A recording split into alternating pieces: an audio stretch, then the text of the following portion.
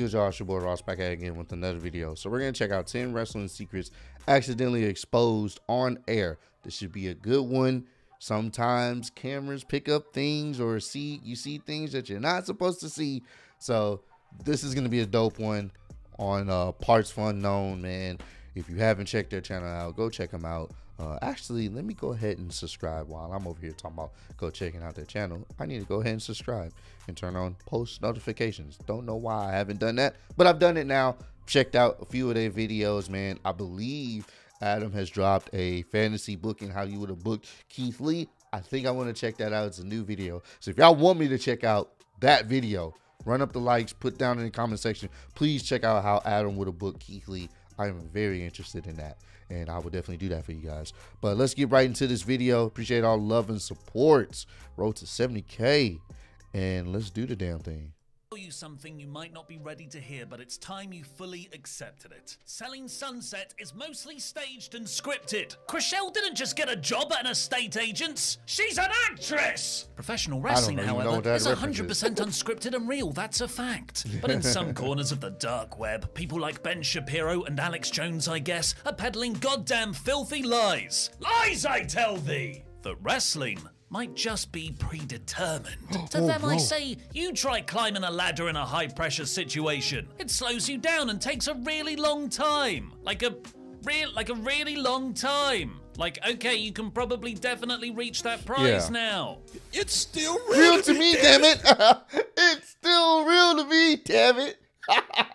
Legendary God tier meme. It's still real to me. but just for an intellectual exercise, let's look at the so called evidence where the secrets of how wrestling really works were mistakenly exposed in moments the audience weren't supposed to see. Huh. I'm Ollie Davis, hailing from Parts Unknown, and this is 10 Times Wrestling Accidentally Exposed Its Secrets on air. Oops. But before we get on with that list, I just want to give a shout out to your local hometown. It's great. Now I've given you a compliment. It's only polite your, for you to return the favor and subscribe hometown. and enable notifications to always that, on so to know first sure when our latest well. wrestling video goes live. And like and comment and, and, and share this list around. All hail the algorithm.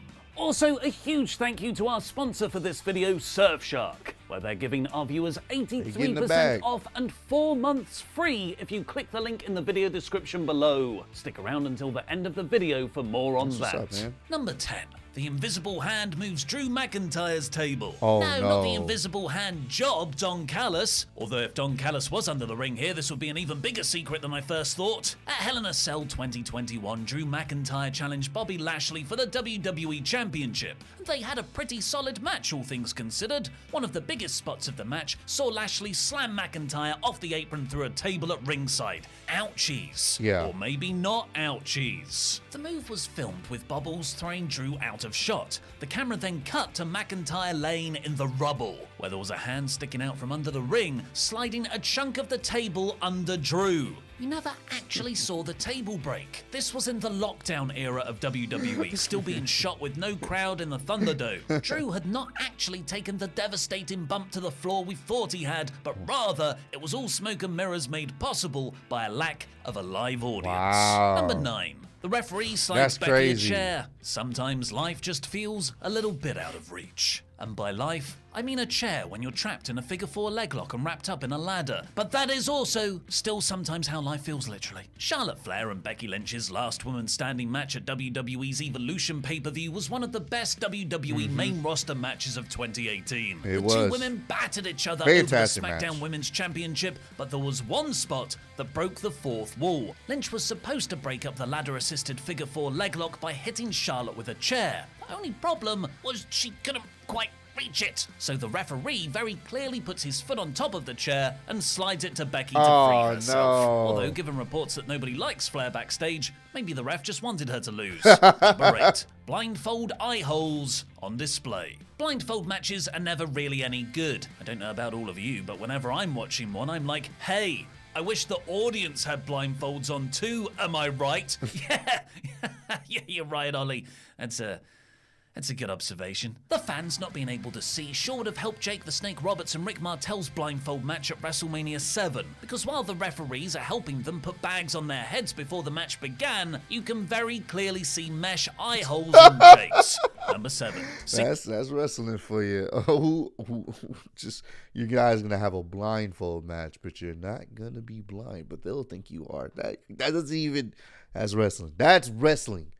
The cringe hokiness of wrestling. That that's it right. Sin Cara's trampoline shown on camera. The original Sin Oh, Cara, yeah. Sin Cara Uno, let's say. Like I remember when I first saw it, I was like, "Damn, how the hell is he doing that?" But then they, you know, accidentally showed the trampoline. likely go down in history as one of the botchiest botches in the history of botchdom. But this botch wasn't really actually his fault, it was mm-hmm. WWE Productions. Quick, Kevin Dunn, more shaky cam! The shaky cam fixes everything! Sin Cara used to enter the ring by leaping from the ground all the way over the top rope. It was supposed to give you the impression of his extraordinary athleticism, his near superhuman jumping power, which is slightly undone when you see the mini trampoline he was using by the ring. After WrestleMania 27, the original Sin Cara made his WWE debut, where the camera showed him pointing to the ring and, well, there's the trampoline. It's, it's right there. I mean, of course, he was using a trampoline to do Yeah. the spot. I wasn't. I, it's not like I, I, I believed he was flying or anything. But actually, seeing the thing is like leaving in the wires, holding up Spider-Man in a mm-hmm. Marvel fight scene. Kind of takes you out of it, unless it's emo Spidey. I love that guy.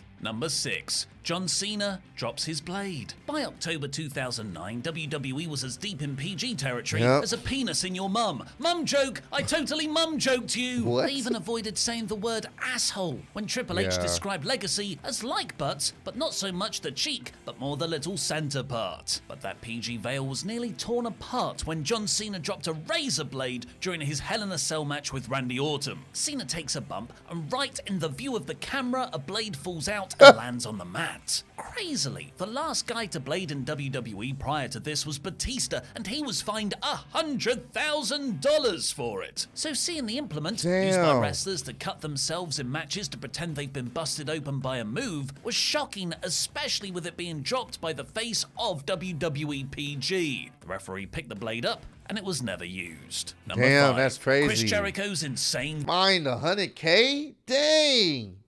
Sheesh.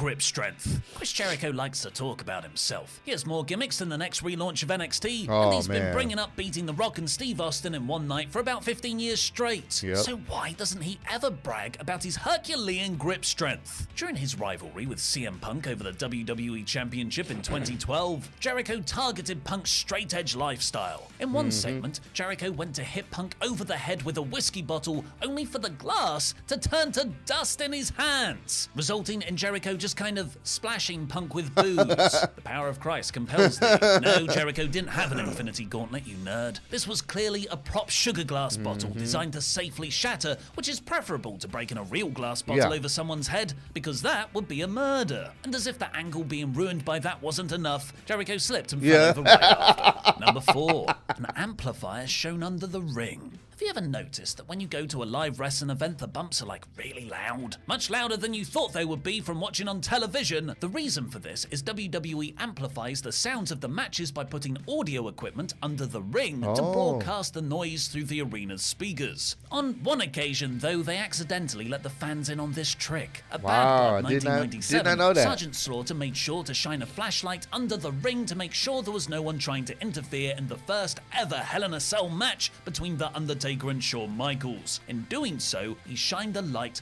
right on an amplifier that WWE had under there. This is probably the only time on television that WWE has given a detailed view of what goes on beneath the mat. Unless you count that time DX crawled under the ring into a mini universe of Hornswoggles and Yeah, that, that was a time.